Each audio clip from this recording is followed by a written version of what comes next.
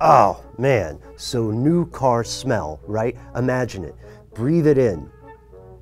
That's the high life, yeah?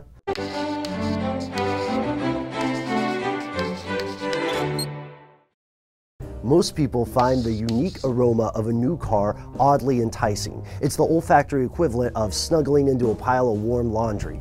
People like it so much that we've even replicated it in air fresheners and those little sprays you find at gas stations. But what exactly is this stuff?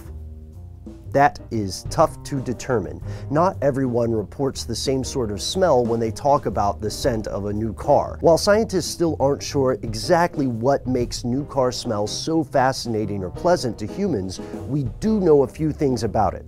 First, it is not any one single substance. Cars are made of a wealth of materials such as polyurethane or polyester. These chemicals are designed to endure daily wear and tear while also resisting changes in temperature and climate.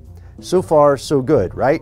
Not so fast, Slick. While the materials themselves may not be particularly terrible, by which I mean you can touch it without contracting some sort of odd disease or bursting into flames, the stuff these chemicals produce can be downright dangerous. The smell of a brand new car is the result of numerous chemical compounds coming from all these paints, plastics, lubricants, plasticizers, sealants and such releasing into the air. This is a process called outgassing.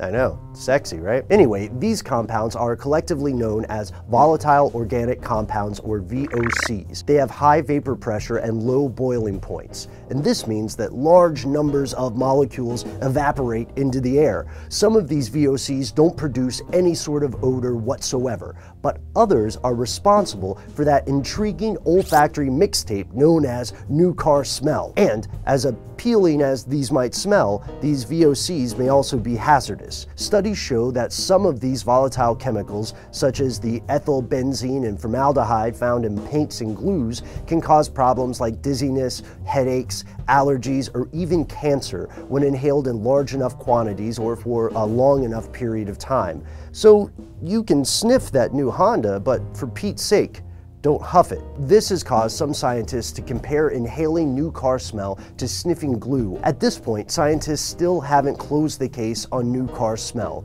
We know some of these compounds are certainly harmful, but experts don't agree on exactly how harmful a given compound might be. We do know that a great deal of these VOCs luckily go away over time, although they can come back on hot days when higher temperatures increase the rate of outgassing. One last point. Not all new car interiors are created equally. VOC wise. Some are much less toxic than others. You can find reports on the relative health of your car's interior by checking with nonprofit groups such as the Ecology Center, which publishes a model year guide to new vehicles annually. In the meantime, I have to ask, what does a new car smell smell like to you? Let me know in the comments and subscribe and stay tuned for more brain stuff.